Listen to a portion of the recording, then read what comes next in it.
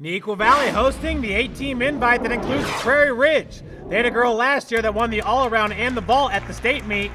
Neuqua, Waubonsie. We're going to start you off with the Warriors. Senior Danielle Christie on the vault. It's a Tsuk layout. Nice. She sticks it for a third place finish and a score of 9.45. On to the uneven parallel bars, and it's Catherine Miller, a senior from Neuqua Valley. Setting up here for the full dismount. Bam! Good for a second place finish, 9.425. Miller this time on the beam. She's a leader for this Wildcat squad. Here with the flip, flop, full dismount. Another second place finish. On to her teammate. It's Morgan Knight on the floor exercise. There's Morgan. Here in one of her pass, she's almost about to fly off the map, but she holds on. Here in her final pass, she sets up for a double full and nails it.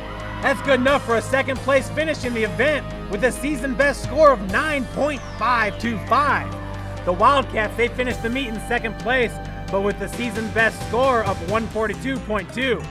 Up next for Waubonsie and Neuqua is the York Invite on Saturday.